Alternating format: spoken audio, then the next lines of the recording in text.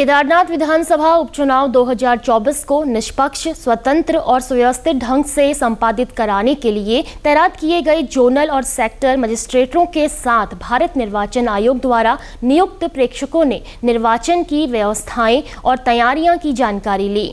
जिला कार्यालय सभागार में हुई बैठक में प्रेक्षकों ने संबंधित अधिकारियों को अपने दायित्वों का निर्वहन, गंभीरता और संवेदनशीलता के साथ करने को कहा। सामान्य प्रेक्षक ने सभी सेक्टर अधिकारियों को अपने अपने बूथों में आवश्यक व्यवस्थाओं का जायजा लेने और सुविधाएँ उपलब्ध कराने को कहा। वहीं व्यय प्रेक्षक ने उपस्थित अधिकारियों से कहा कि सी विजिल ऐप पर जो भी निर्वाचन संबंधी शिकायतें और समस्याएँ दर्ज कराई जाती हैं, उनका निपटारा समय सीमा के अंदर किया जाए। इसके साथ ही उन्होंने प्रत्याशियों द्वारा किए जा रहे चुनाव प्रचार प्रसार और रैलियों पर भी कड़ी निगरानी रखने के निर्देश दिए।